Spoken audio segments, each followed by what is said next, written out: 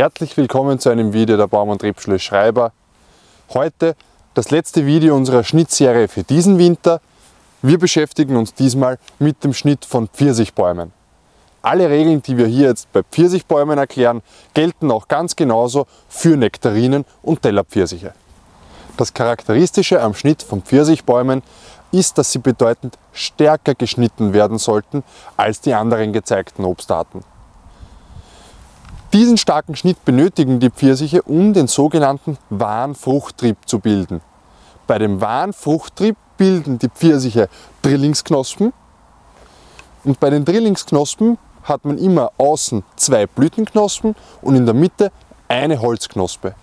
Und diese Konstellation ist wichtig, damit man langfristig Früchte ernten kann und gleichzeitig auch wieder Triebnachwuchs hat.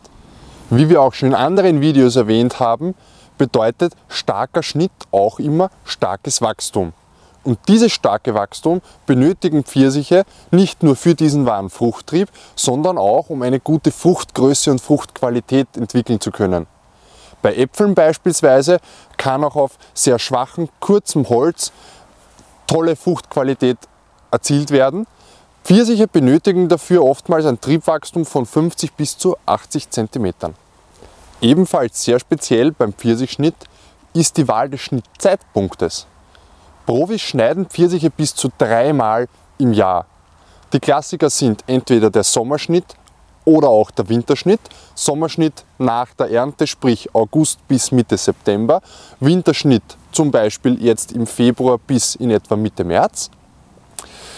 Bei anderen Steinobstarten ist eher der Sommerschnitt zu empfehlen, weil der Pfirsich stark wachsen soll, ist hier auch im Profi-Anbau durchaus ein Winterschnitt sehr oft ein Thema und wird oft durchgeführt. Wenn man jetzt von Winterschnitt spricht, ist es wie schon erwähnt wichtig, nicht zu früh zu schneiden, sprich nicht im Dezember oder Jänner, sondern nach der großen Kälte, eben Februar bis dann kurz vor der Blüte. Ein sehr guter Zeitpunkt ist auch zu schneiden, wenn schon sich die Knospen in einem rosa Knospenstadium befinden, sprich schon leicht geöffnet sind.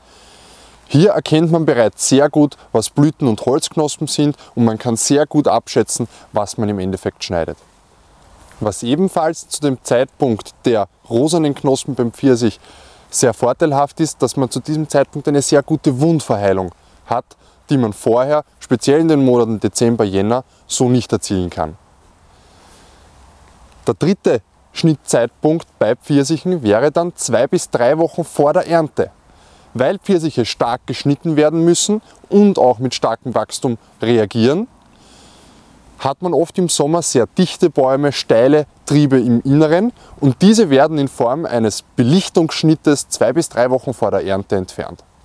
Wir stehen jetzt hier in dieser Anlage gerade, gerade vor Bäumen der Sorte Pulsdorfer Weingartenpfirsich. Der Polsdorfer Weingartenpfirsich ist eine sehr spätreifende, weißfleischige Pfirsichsorte, reift ungefähr Mitte September, je nach Jahr und Witterung.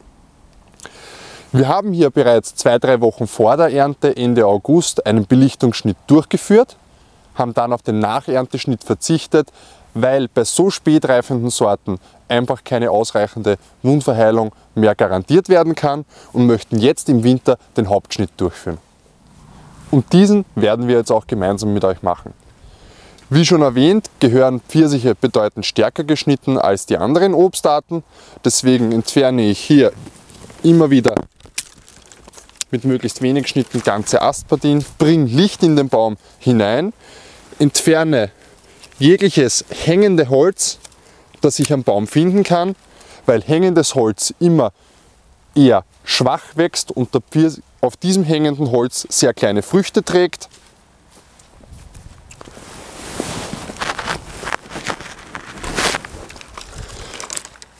Und auch sehr charakteristisch ist das Durchführen eines Wechselschnitts, vor allem im unteren Kronenbereich.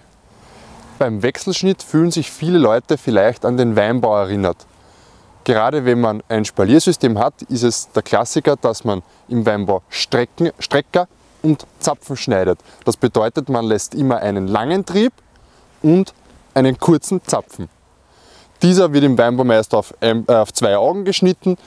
Bei Pfirsichen belässt man sie etwas länger, beispielsweise 5 bis 6 Augen oder Scherenlänge. Das Prinzip ist aber das gleiche. Man belässt einen langen Trieb, schneidet darunter einen kurzen auf in etwa Scherenlänge.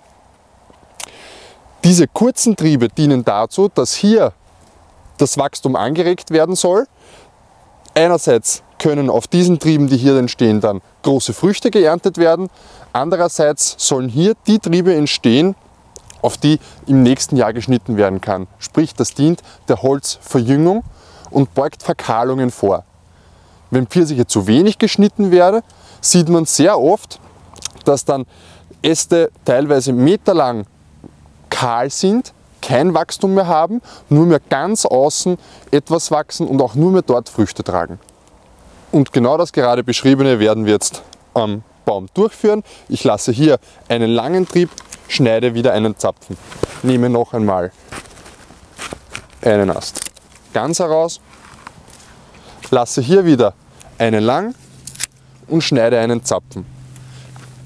Nehme hier nochmal das hängende Holz heraus, lasse einen lang, schneide einen Zapfen und arbeite mich jetzt so den Baum durch.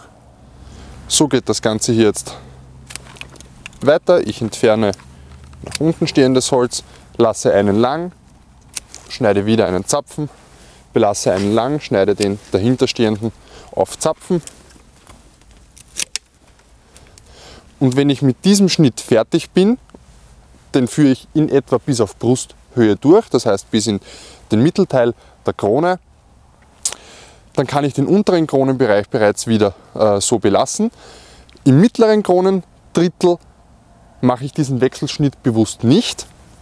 Äh, dadurch, dass der Pfirsich grundsätzlich stark wächst, passiert es auf ganz natürliche Art und Weise, dass das Wachstum sehr gerne nach oben rutscht und das Wachstum soll vor allem im untersten Kronenbereich angeregt werden, um hier den Baum vital zu halten. Wenn ich jetzt in der Kronenmitte im Winter noch schneide, dann versuche ich hier speziell nur zu starke Kronenelemente herauszunehmen, das herauszunehmen, was dann in der folgenden Saison beschatten würde. Das sind vor allem wieder steile Triebe und ich bemühe mich leicht steigendes Holz nach außen stehend steigendes Holz zu belassen.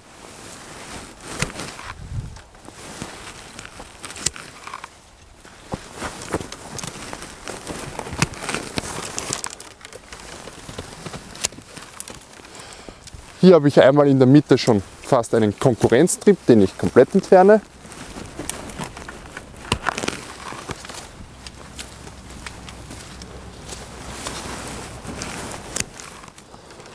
Und nach diesen wenigen Schnitten bin ich eigentlich mit der Kronenmitte schon wieder zufrieden und kann mich nun dem Wipfelschnitt widmen.